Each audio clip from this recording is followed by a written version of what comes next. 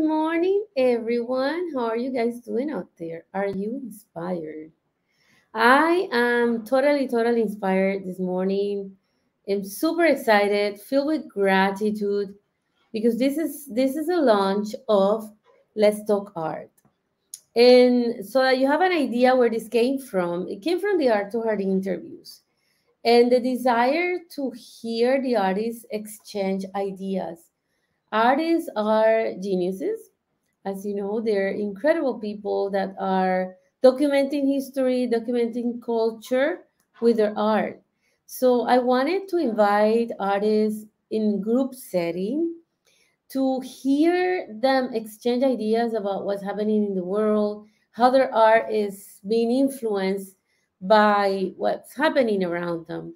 So I'm going to introduce you to my guests today. I have two guests, Frank Hoeffler and Derwin Leiva. How are you guys doing? Good. I'm doing good. Thank you for inviting us. Thank you. Thank you for being here. So um, I'll be, this is a, a, different format and I just want you guys to feel too, super comfortable. And I want to, I want to share with the audience how you both started with the arts? How do you decide to become an artist? Because I think it's one of the biggest questions usually for the general public. It's okay, so maybe I want to be an artist. How do you, how do you start? So who wants to go first? well, I'll go first. Um, I was in high school and uh, was in a wonderful art department, had a great mentor for a teacher. Then I went to college and I had a wonderful professor for um, a mentor. And then I went to additional school and I was under the tutelage of Biggin Livingstone, a very prominent artist. And it just inspired me to express myself through painting. Awesome, awesome, awesome. I'm practicing here, as you know. Um, Derwin, what, what about you? How was your journey? Uh, I always like painting and I always like drawing. Uh, as I was growing up in Cuba, it was kind of difficult, especially was hard to get materials and things to draw. So I remember always, uh, every time that we have uh, cartoons on Sundays, uh, I will go with a notebook in front of the TV and start drawing whatever it was the cartoon for that weekend. And after that, I just kept drawing with everything that I can find. Uh, my grandfather, he used to make charcoal from the aroma tree, and I used to go with him, and I love watching him making charcoal. And I used that to draw. So uh, that, that was kind of my drawing material. We used to pick up the piece of charcoal. And I remember that we didn't have paper to draw. So I used to pick up the uh, empty boxes of cigarette that people would throw away after they finish the box. And then I would break the boxes and uh, use the white uh, cover inside. Um, and I use that to draw. Uh, anything that I can use, any surface, uh, I will use it to draw. And I just kept drawing and doing that when I was in Cuba. Uh, when I came here to the United States, I went into the military and then once i retired i always continue all my career painting and drawing. Once i finished uh, in the military then i went to my bfa in painting. But i did my uh, uh, my bfa in sculpture so i want to kind of develop my uh, my work and i start using uh, sculpture and painting combined. I start doing photography, I did glass, uh, I work with metal, bronze, casting. Um, so a little work, work, a little bit of everything, kind of developing my work. And then I start incorporating everything that I was learning from all these different uh, skills and incorporating to my painting, which normally that's what I do the most. I like painting. Uh, it, it's kind of easy for me and that's how I got to work on everything. Awesome, awesome. Oh my goodness, I'm inspired by both of you. and there with the fact that you were so creative and you don't think about that right like you're watching cartoons let me draw it that's i think the passion of the artist from the get-go from childhood do you think that um and i'm gonna ask you a general a general question now do you think that right now are we being supportive of children are we being supportive of uh, the emerging artists, you know, from childhood, from teenage years?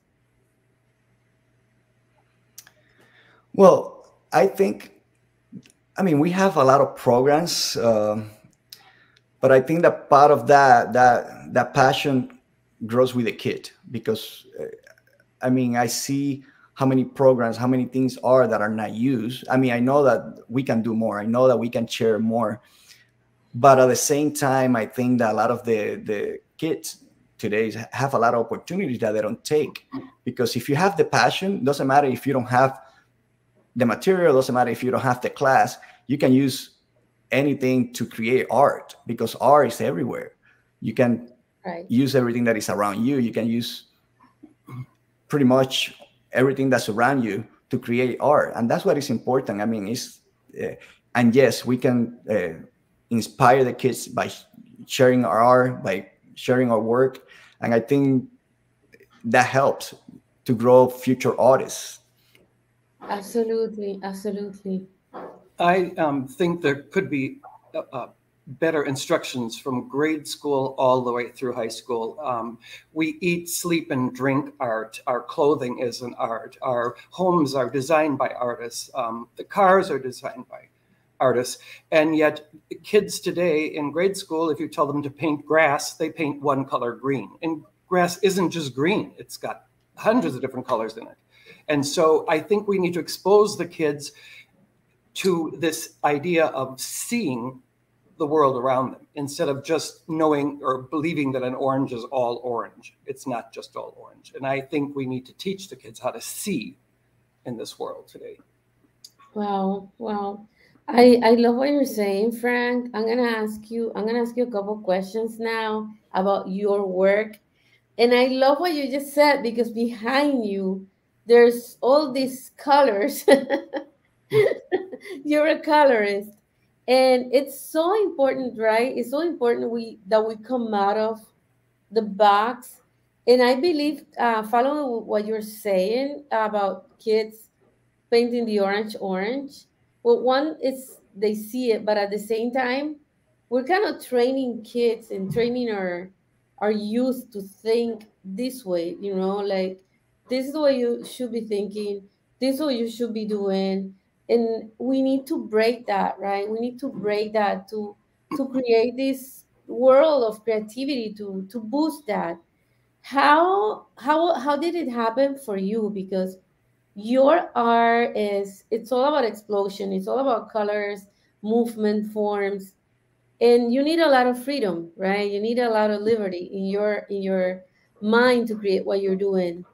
How do you boost that? How, how did it happen for you um driving into work i will go by a stream and i'll notice that color in the water is is, so vibrant or different, or I'll see a cloud in the sky and I'll try to analyze what colors make up that cloud. You know, is there, are there grays in there? Is it bluish gray, cerulean blue? I don't.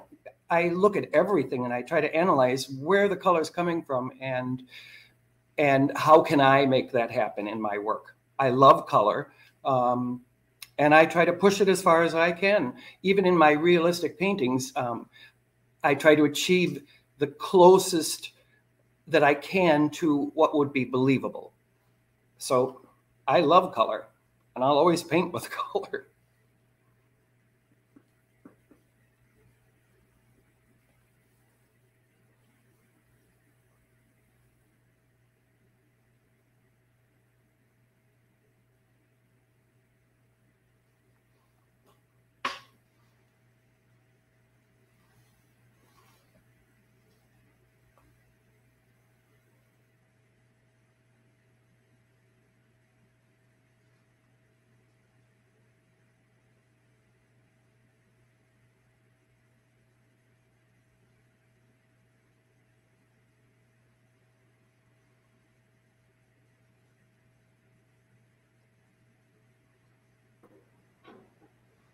All right, I'm here.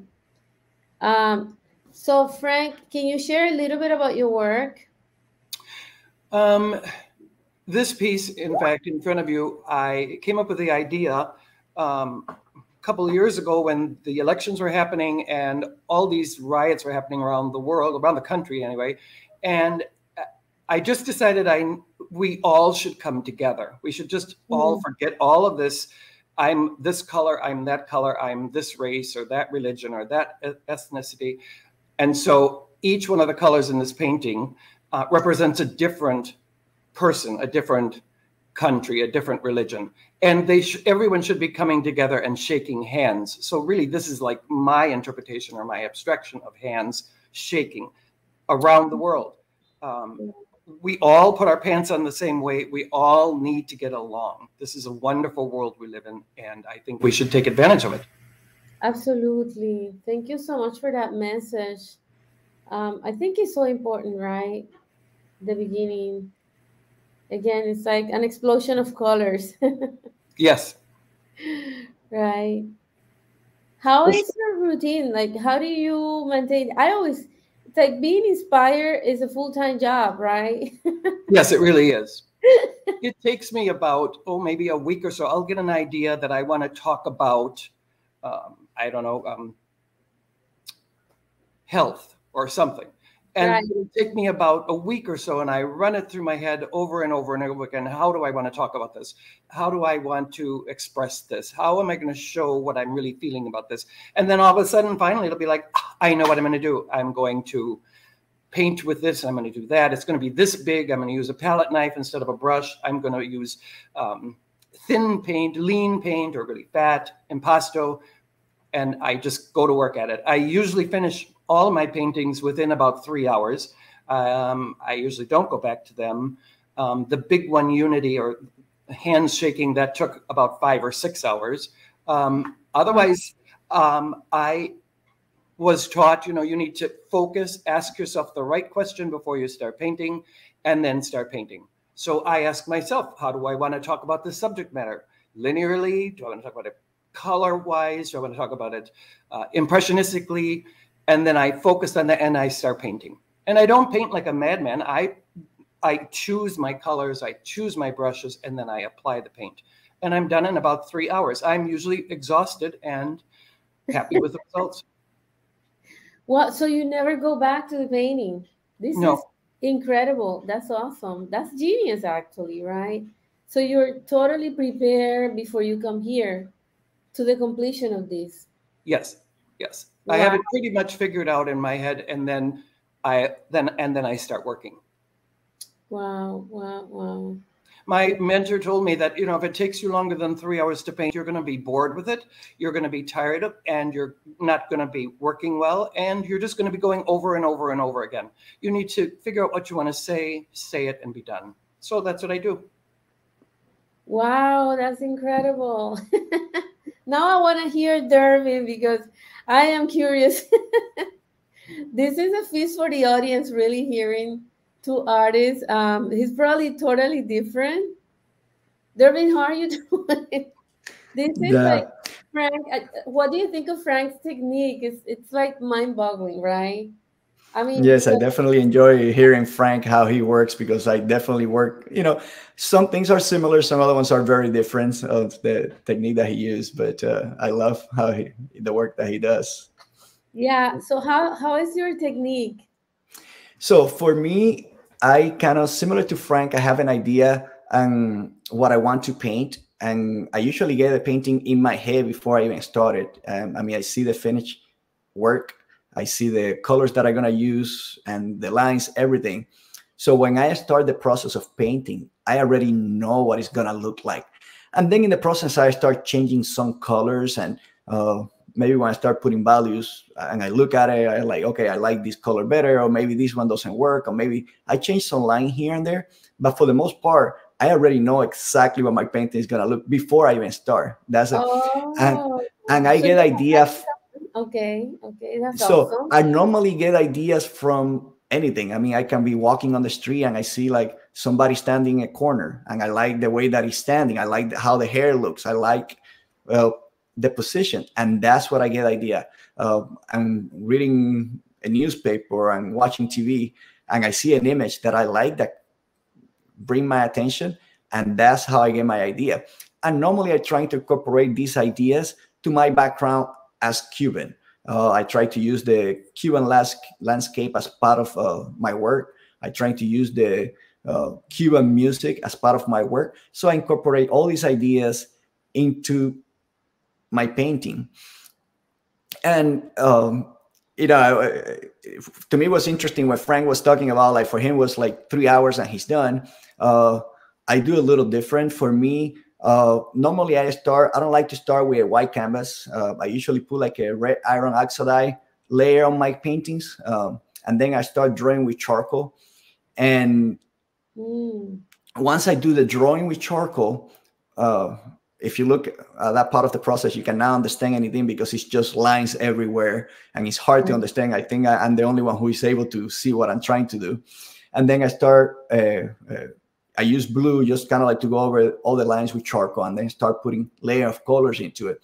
But once I start getting into the paintings, I can spend hours. Um, sometimes I've been painting for like 15, 18 hours straight, you know, in, in a day. I like I just work through, uh, especially if I have like a deadline and there is a work that I want to do for an exhibition or anything like that, and I get into it, I can be 15, 20 hours painting just all day. And I think this is part of uh, me being in the military, a lot of the physical, because yes, like, you know, Frank is right. Once you're like three, four hours working, uh, you get tired. So you need to rest. You need yeah. to do something, move around, walk around, uh, try to do something different, rest for a little bit. But then I always come back to it and then continue painting. Uh, so for me, my paintings take a lot of hours, has a lot of details. Um, there is some painting that I spend 150 hours in a painting. So if I do three hours, eh, you know, two, three hours in a day, it takes me a long time uh, to do a painting uh, which sometimes happen because I don't, you know, uh, sometimes I get into a painting, I start working on it, and then when I get to part of the process, like half of the painting, I try to start working a different painting, and then I don't come back to that one maybe a month later, or I leave it there for a little bit, and then trying to working in a different painting, just not to get bored, because it's, it's part of the process. You know, you get to uh, uh part of uh, the paintings where you're like fighting with the process and trying to figure it out what you want to do what colors you're going to use or there is something that you don't like and you're trying to fix it but at the same time uh, to me that's interesting because it's, it's kind of like problem solving and every painting has their own problems that you have to solve so every painting becomes something different. You don't want you know uh, not every painting for me is the same. I try to do every single painting. I like it to be by itself uh, like all of them are related. All of them have the same subject but when you look at it you you don't you don't see one painting oh this one is just exactly like the other one exactly like the other one. I like every painting to stand by itself.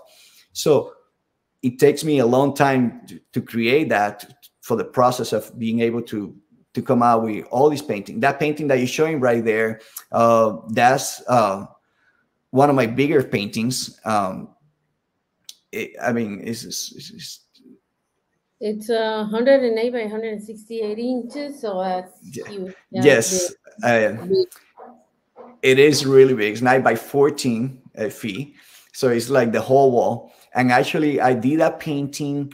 Uh, inspired or, or, the inspiration for that painting was when uh, Fidel Castro died.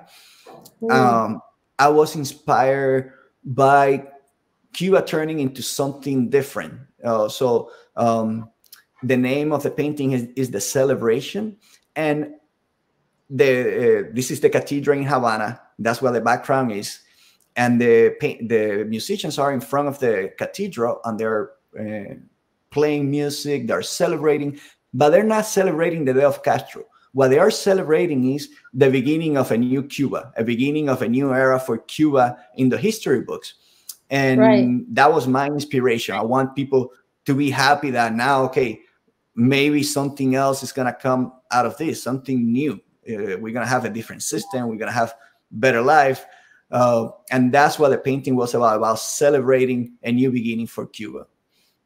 And hope. This is beautiful. Music is your your main theme, right? That's that's kind of a yes, I do because I love I love music because to me everybody loves music. No matter where you're from, no matter what kind of person you are, uh, you can be from any part of the world. Everybody likes music. Everybody yeah. have their own music. Everybody have their uh, the, the music that they like. And uh, I think in a way, music makes everybody happy. Most people, when they are uh, when they're happy, they're listening to music, and sometimes when they're not happy, they listen to music just to feel better. Yeah. So I try to bring music whenever I can into my work. Uh, I like colors as well. I like to put a lot of colors into my work um, because to me it, it, brings the painting alive and makes people feel better uh, when they look at, at the paintings.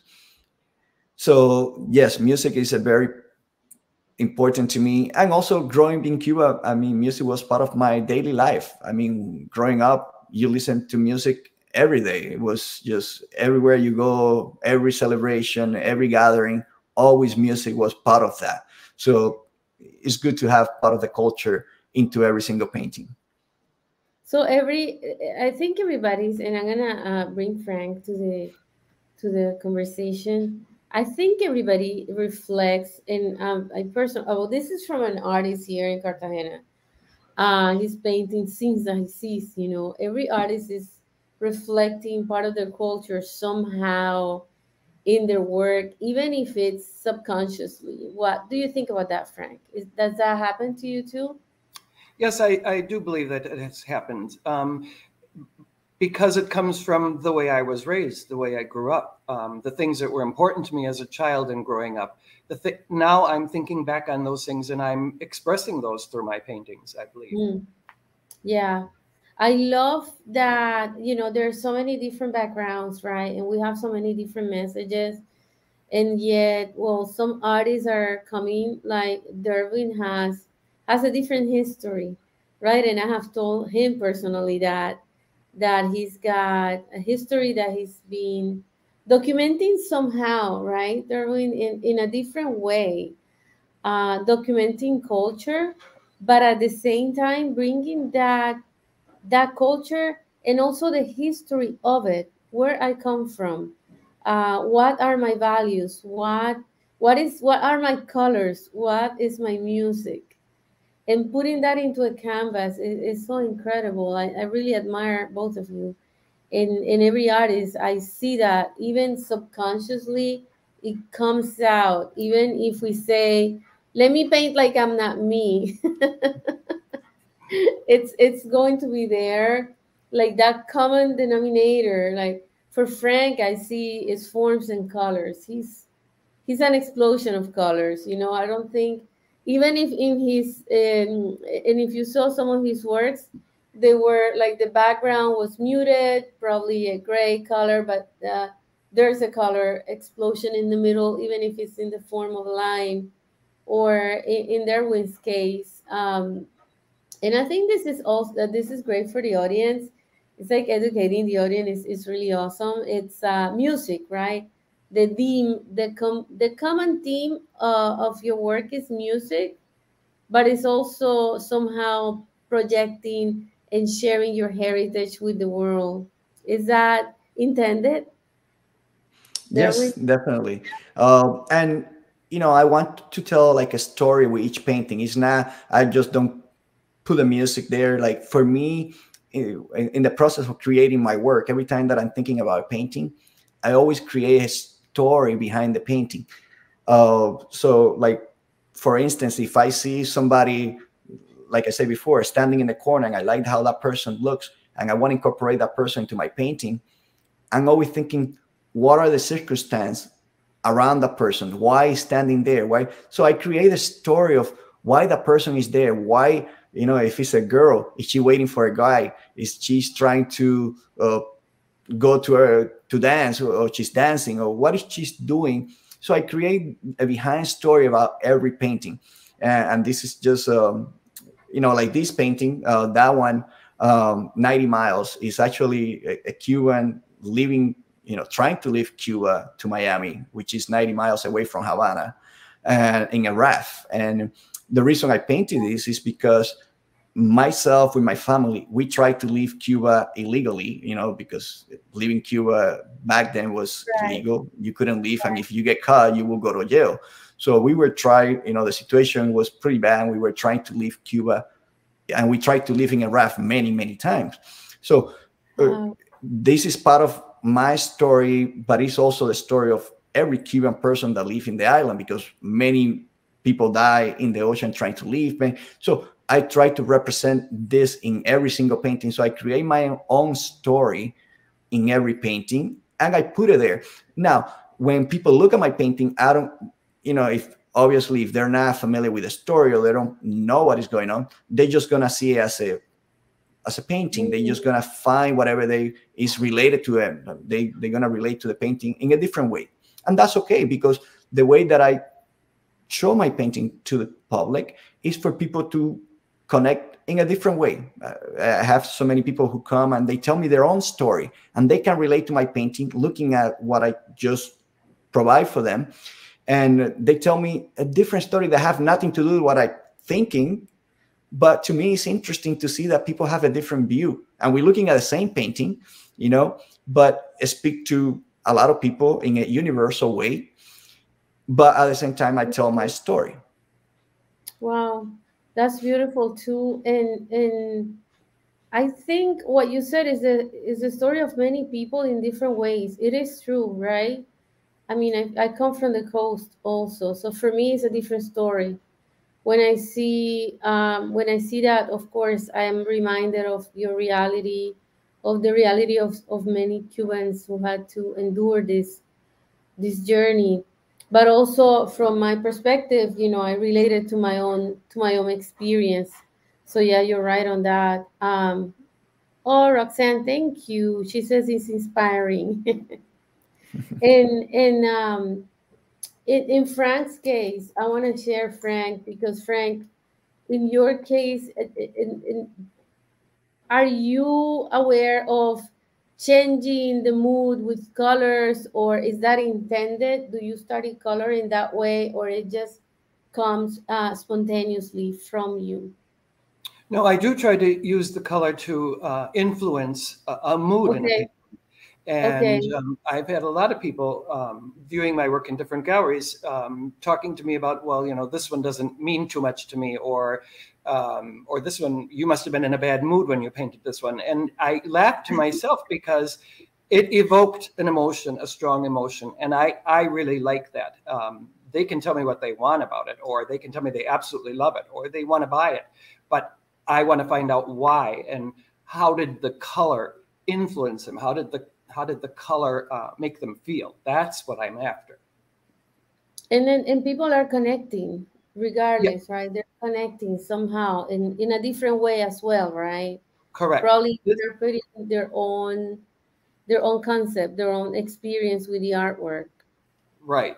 Um, that last painting you saw was a commission piece for some people in Florida, and they're boaters and they live on the ocean. And they just gave me free reign and said, you know, we um, we like the blue of the ocean and we like we like to sail. So I have a sail in there, whether or not somebody can see it. Um, I have the green in there representing, you know, the, the land that they're on, but the water is representing all by the, all the different shades of blue from morning color to evening color. And so um, to me, it's it's powerful and um, it works. That's eight feet tall by um, I think five feet wide or something. How would you like? How would you? And that question goes to both uh, I'd love to hear the answers. How would you like the world to receive artists? Um, and this is, I know it's very open, but how would you like to be received by the audience? Per, and perceive, maybe perceive is the right way to to say it. What type of uh, message? Is there a specific message that you would like the audience to receive from you when when they experience your artworks Well, I mean, for me, when I kind of stand in front of the canvas, uh, I feel like in a different world. I feel like I'm inside my world, and where there is no limitations. I mean, uh, everything is uh, whatever I can imagine, and is what is important is the way that I can transfer that into everybody else's eyes. Uh, I can express my feelings. I can express my dreams uh, with my brush. I can uh, sh- share my culture and my music through my canvas, and pretty much I'm telling my story using circles, using lines, using colors. So it's another way to communicate with the viewer and and creating a reaction. Like some people have a good reaction, and some people may see it different, but I'm interacting with the audience, and that's what is important: is have that conversation where you can share who you are and your culture and your style. Wow, thank you so much, Derwin. What do you think, Frank? uh, I really go at painting in the way that I would like people to experience something or um, have it click to them or have it bring about memories of the past or bring about um, a, a big emotional impact to their life that they really want this painting and that they really have to have it um, because every time they look at it, it's going to uh, inspire them to do something or to be a better person or or to relax. Um, so I go about my art in I just I paint so that I can express myself, and then it's very gratifying to me when people tell me how they see it or what what they get out of it. Um, they don't have to get the same thing that I put in it out, uh, which I'm happy sometimes that they don't a lot of a lot of my paintings or series of paintings that I've done, I told my wife if people could only read my paintings, they would know my soul because I paint from what I really feel. And so there's a lot of hidden meanings and a lot of hidden uh, things in my paintings. Wow. I love what you just said because I always say that anybody ha- that has a painting has a piece of my soul, right? If they, they have a piece of the soul of the artist, it really comes from there. The mm-hmm. artist is not calculating. We're, you know, heart and soul there. Heart and soul in the canvas, in the camera, or whatever medium, uh, the sculpture, even their computer when they're creating. It, it's very, I think, I, I think it's very spontaneous and it's it's it's like a communion, like a marriage, right? Between mm-hmm. the canvas, the artist, uh, our connection to source. Do you? And I'm going to that. That's a that's a, another question. And um, it's okay if you don't believe. I just curious, and probably the audience is curious too. Um, I believe in connecting. Like I need to connect to my source. I feel that my inspiration comes from a higher ground or a different um, how do you say that um, universe it, it, comes from up above right for me because that was maybe the way i grew up or my belief or what was ingrained in me do you share that belief or do you how do you connect how do you make sure that when you're sitting in there it's like that that connection is happening that connection between inspiration and you? I do believe that. I um, I believe in God, and I believe that um, I'm inspired. I believe I've been given a, a God-given talent. I think everybody has a God-given talent. It doesn't have to be painting. It could be writing. It could be singing. It could be taking care of kids. Um, and I think we need to use it our entire life. So I'm planning on painting until I can't pick up a brush anymore. And I really enjoy what I do, and I'm thankful every day for ideas that flood into my mind. Um, I do paint maybe two or three paintings in a day sometimes because I'm not done talking about that subject. If I'm painting an orchid, I'll paint an orchid in the morning and I'll turn the pot and I'll paint it in another way, and then I'll turn it again and paint it another way because I'm not done expressing all of the love or the feeling that I have about what I'm looking at. So mm-hmm. I think everybody should be, you know, using their talents 24 7. Oh wow, thank you. What do you think, Derwin? Yes, definitely. I think that we all connected, and I think that it's important uh, to be thankful for the, uh, you know, for the talent that we've been given. And like Fran said, I think everyone has a talent, and uh, to me, you know, it's important to share uh, this talent with everybody because I think that's the most important. You know, a lot of the times we get talents and we just keep it to ourselves. But I think the most important thing about having a talent, especially like you know art and painting, and is just to be able to share with the world, be able to show all the people what you can do, so to inspire the world. So mm-hmm. yes, that's what I think. Absolutely, and I believe I I always always thought of of my any gift right that we receive and i think we receive gifts throughout our lifetime by the way. We are like they they're like delivered. They're delivered to us timely right? Probably frank uh he thought of himself as an artist and then he got delivery of here it is boom the color goes to you. And and and that happens right? Or or or Derwin was starting to create and probably when you were creating as a child you didn't think of music then and then it's like here the, there's the gift of music. Um and and i believe that's our responsibility to share that because when we share that we make not just the world a better place. That is a phrase we use but it, it, it really is because we change somebody's life. Mm-hmm. and the minute you are affecting one person you're already making the world a better place. Someone is uh, sharing the color and vibrancy of Frank's art is always impressive. Nice to hear you talk about the inspiration for all the colors. Joel, oh, thank you, Joel. That was nice. Frankie had a comment for you. Um, so we do affect, even if we affect one child, one adult, one person, we're already changing the world with our work. And the gift of art is a responsibility. I always say that because there's a lot of people in um, in a world that do not recognize art that way. We're not appreciated that way, especially at the beginning of the journey when the artist is just starting. So many artists, and I interviewed an artist this morning who said, you know, I was discouraged. And I remember being discouraged also because they would tell me, uh, there's no money in art, what are you gonna do? So it is challenging, but it's always good to remind uh, those who are out there who have the gift that this is a responsibility that we need to share. Mm-hmm. And you guys are creating, you have incredible careers. And going to the careers, tell me about what's coming up this year for you. Is there any plans, any big things happening between now and next year? or 2023 because we're almost there? well, um, since being at the gala in New York with you, um, I was invited to submit 11 images to a gallery in Rome, and I'm sure it's all because of you, Viviana. And um, then also a, gallery in Spain has reached out to me and wanted to um, have some images.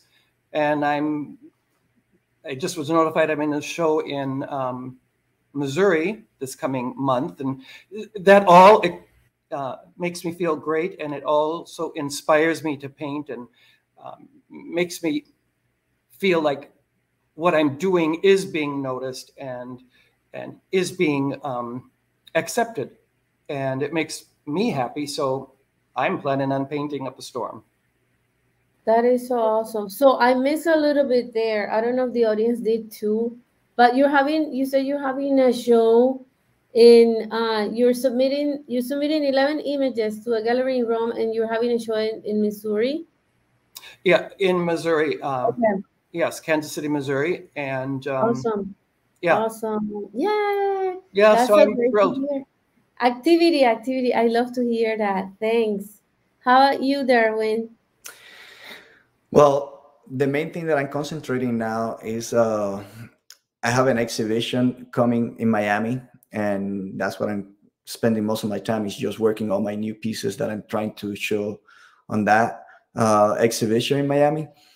Uh, I also had three invitations to show uh, one in Portugal, one in France, and one in Italy which I'm kind of like in the process right now. I'm working all the details and trying to figure it out, the logistic, because uh, it's a lot of work to move all my work from here, from Hawaii, anywhere in the world. So um, I have these those three possible upcoming exhibitions, which I still working, but for sure, uh, December I'm gonna be showing in Miami. So that's what I got for now. Awesome. So we know we can catch you somewhere, right? And um, we're coming to the top of the hour already. So I want to thank you guys and invite the audience. Uh, you guys, uh, Jennifer, if you can put both of their websites, you know where to go, guys, if you want to explore more about the artists. So if you're in Missouri, check out where Frank's um, exhibitionist is going to be on his website. So you go visit him at his website, at his at his exhibition, and Derwin is going to be in Miami, December, right? Yes. So check out his website to stay tuned to these artists. There's a lot happening in the world of the art, so make sure to stay tuned to them because I I always love to explore what's coming up for the artists. It's like I I love to peek in you know the studios and see what you guys are working on. So let's leave that as an intrigue so people uh, get curious and go want to check you out.